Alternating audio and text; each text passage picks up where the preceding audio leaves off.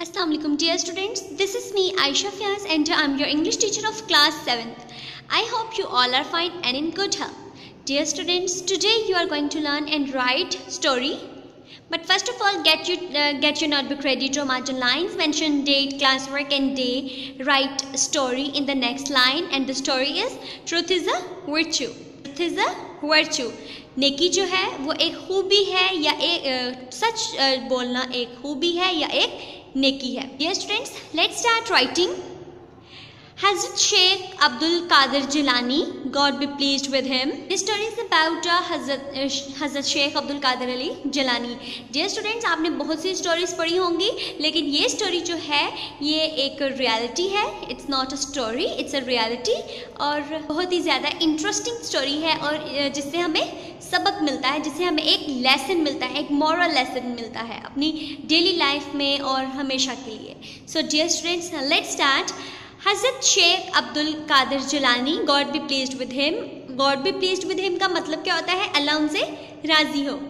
Went out a on a journey for seeking the knowledge for seeking knowledge with caravan caravan का मतलब क्या होता है? कारवा मजलिस ठीक है?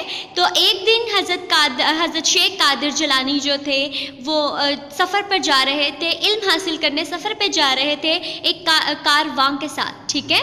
His mother advised him to speak the truth always. उनकी अम्मी ने उनसे नसीहत की कि हमेशा सच बोलो When the caravan passed through a forest, जब कारवा जंगल से गुजर रहा था a gang of robbers fell on his caravan. जब कारवा जंगल से गुजर रहा था तो लुटेरों के एक ग्रुप ने उस कारवा पे हमला कर दिया and looted every one of them और हर किसी को लूट लिया a robber came to him लुटेरा उनके पास आया एंड आस्क्ड हिम और उनसे कहा do you have anything with you क्या तुम्हारे पास कुछ है?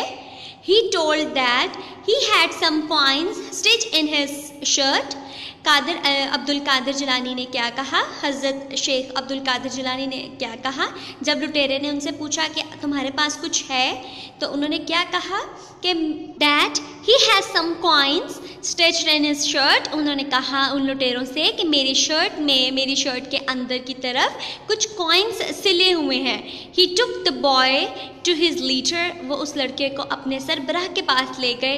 The leader asked him leader ने उनसे पूछा why he had not denied denied का मतलब होता है किसी चीज़ से इनकार करना, ठीक है? मना करना। Why he had not denied for of having money कि तुमने पैसे देने से इनकार क्यों नहीं किया? द बॉय टोल्ड हिम लड़के ने उन्हें कहा about the advice of his mother about not to tell a lie उन्होंने, उस लीडर से कहा कि मेरी अम्मी ने मुझसे नसीहत किया और उन्होंने उस नसीहत के बारे में उस लीडर को बताया कि कभी झूठ नहीं बोलना। It had a deep effect on him इस बात का लीडर पे बहुत गहरा असर हुआ। He felt grieved for his evil deed उसको अपने जो भी उसने हरकत की थी, उसके लिए उसको बहुत ज़्यादा शर्मिंदगी थी। He return each penny to the caravan उन, उसने जो जो लीडर था, उसने तमाम लोगों को, जो कारवां के जितने भी लोग थे, उनको सब पैसा वापस कर दिया एंड गेव अप लॉबरी और उसने ये जो लुटे, लुटेरे वाला काम था, लूटने वाला काम उसको भी छोड़ दिया। He also advise his gang और उसने अपने जो गैंग था, जो ग्रुप मेंबर्स थे उसके, उन, उसने उस, उनको भी नसीहत की to live an honest life कि ईमानदार ज़िंदगी गुजारो। ठीक है? चेयर स्टूडेंट्स आपको आज की स्टोरी कैसी लगी? और आपने आज की स्टोरी से क्या सीखा? जी आपने ये सीखा कि कभी भी झूठ नहीं बोलना हमेशा सच बोलो and the moral is speak the truth always speak the, the truth हमेशा सच बोलो I hope dear students you got all the points and uh, now I'm giving you homework learn and write story the truth is virtue virtue thank you so much stay home stay safe Allah Hafiz